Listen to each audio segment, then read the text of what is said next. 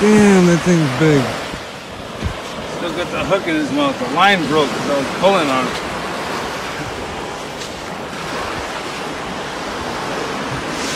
Yeah.